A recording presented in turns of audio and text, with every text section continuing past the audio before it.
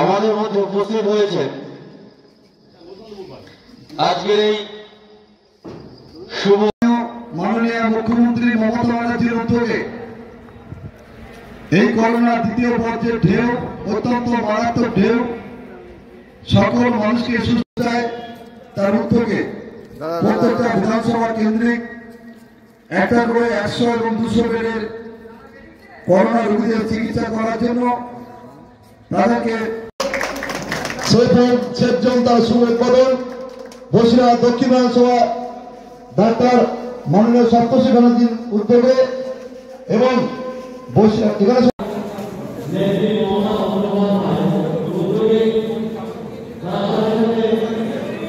সাজিয়ে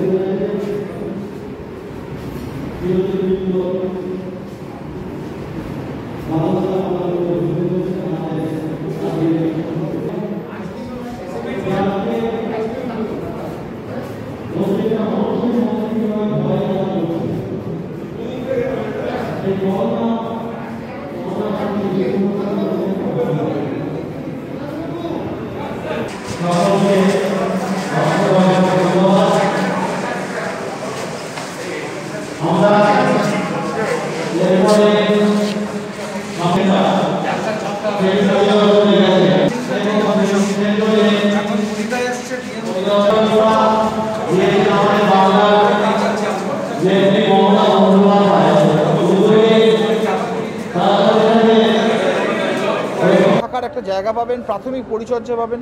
সকাল বিকেলে ডাক্তার উপস্থিত থাকবে। প্রয়োজনে ওষুধ, পথ্য, খাবার এবং অক্সিজেন যেটা চিকিৎসার বেসিক করোনা, সবকটাই তারা একটা ছাদের তলায় পাবেন।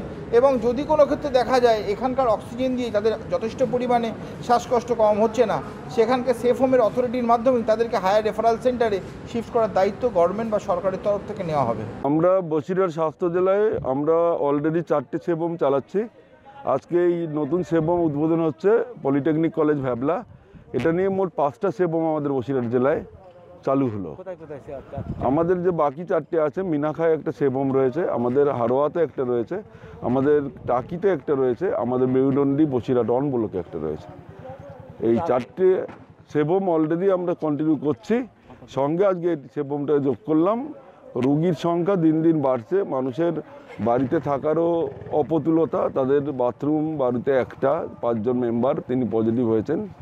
এইসব দিকে চিন্তা করে মানুষ যাতে একটা সেভ হোমে তার ট্রিটমেন্ট পায় অক্সিজেন সহ অন্য অন্য মেডিকেল ট্রিটমেন্ট সহ সব ট্রিটমেন্ট যেন এখানে পায়। তার জন্য একটা আমরা ডাক্তাররা সকাল বিকাল রাউন্ড দেবে, তার ব্যবস্থা করেছি। সিস্টার থাকবে, তার ব্যবস্থা করা হয়েছে।